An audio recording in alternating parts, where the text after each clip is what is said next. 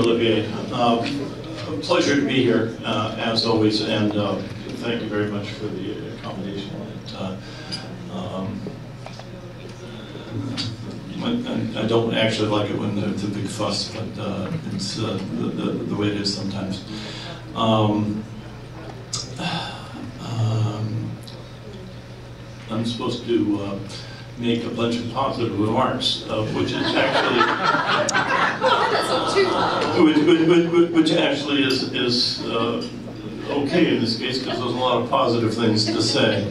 Um, uh, so my notes here cue me that uh, adopted 19 policy advice statements. Uh, I'll come back to that in a minute. Uh, that um, uh, the at-large summit for uh, London is progressing, and um, and we we now have a, a board tracking document which is related very much to the policy advice statements in a way. Um, I, I have said multiple times that I've been extremely impressed with the growth and maturation of uh, ALAC over the years. Um, spoken text of that is that I would not have thought that it would uh, develop as positively as it has. And it's a great tribute to Cheryl, you know, Olivier, to everybody, uh, the um, uh, progress from uh, the early 2002, 3, 4 period when I first got involved. Uh, so uh, I'm, I'm, a very big fan, and um, uh, when I was chair of SSAC, uh, I spent uh, a fair amount of time watching uh, S, ALAC and adopting some of the lessons about, about that and, the way we um, improved some of the processes in, in SSAC. Um, the um, the question was raised uh, a, a, while ago about um, paying attention to advice from ALAC.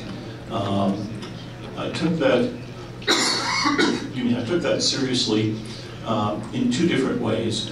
One was a, uh, a suggestion back to ALAC that uh, um, if the advice came in form that we could uh, sort of keep track of it, um, and again, drawing from uh, my history with RFCs and with uh, and someone does that, put a number on it, put a label and so forth, and send it to us, and then we have to pay attention to it, we keep track of it, and then um, which which you guys did, uh, and then um, the next step in that process was a uh, advice tracking process, which uh, uh, turns out to be good medicine for a lot of things. We got comparable inputs, uh, or I should say, we got inputs from SSAC that resulted in a comparable uh, response, and that it was um, uh, we're trying to raise the level of that. So we have now uh, a draft, uh, or first cut of um, a advice register, and we populated it with um, some of the advice that uh, we think we've gotten from you.